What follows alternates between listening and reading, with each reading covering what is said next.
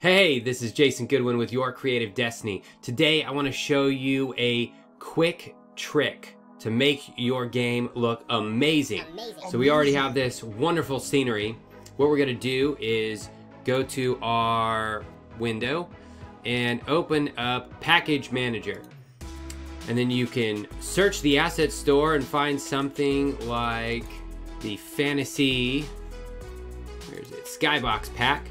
You can find this on the asset store. And so these skyboxes that replace the sky are essentially a cube map. It's six textures like a cube that's kind of spherized around the world. It gives you a sky look and it looks awesome.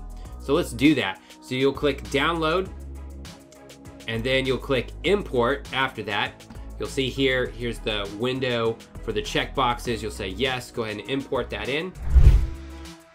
And then once you've imported that in, we can look in our project for that, created a folder.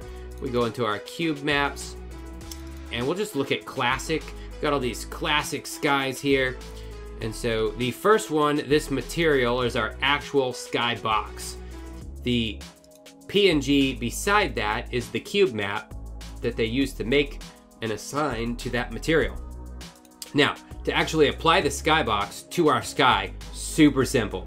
So what we're gonna do is go up again to window and rendering, and then we're gonna pull up our lighting tab. In this case, it'll be a free ooh, window here. My mouse is kind of wigging out a little bit. And I'll just put that next to the inspector.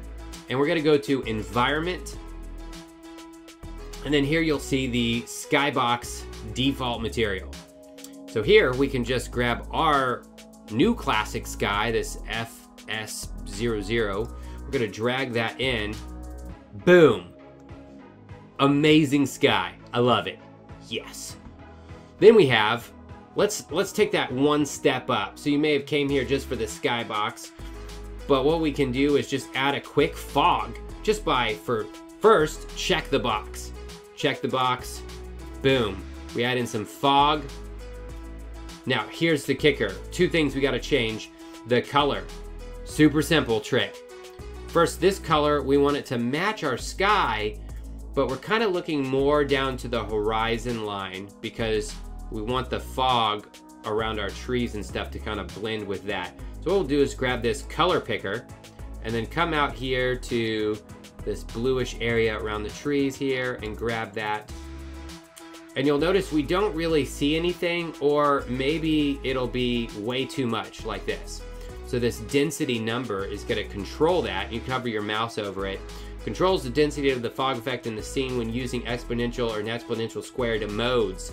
So you'll have to change your mode from linear, I think is the default, and we'll change that to exponential squared. And then here, the density, we can crank this down a little bit, and you can see yeah, that's a little bit... There we go. Yeah, just adding a 5 on there. So that way we get a little bit more blue fading with everything. And that just looks great. Simulates real life to some degree. We've got this kind of fog where things are starting to kind of blend in as the further they get back.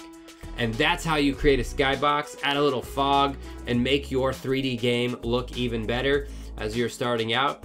So I hope this helps you on your game, and we'll see you in the next video.